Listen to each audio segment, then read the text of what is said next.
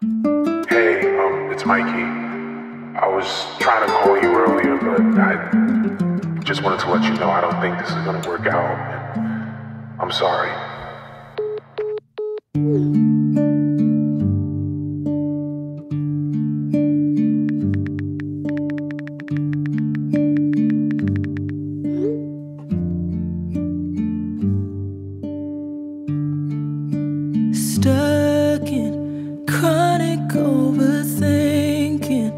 Looking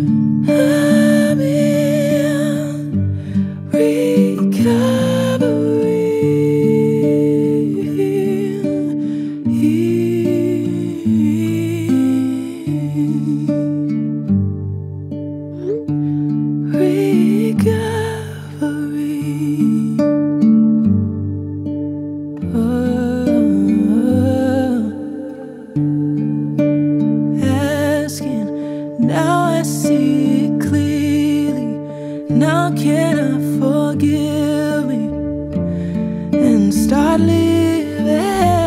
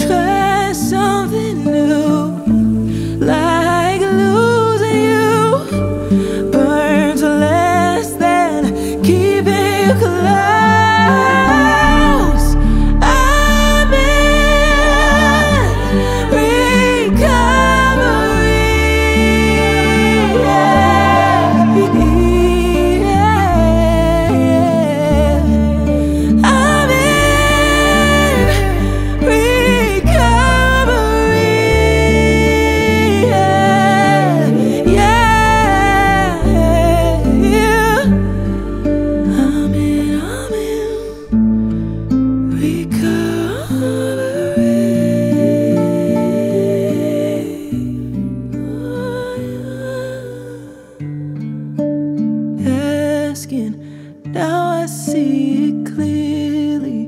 Now can I forgive?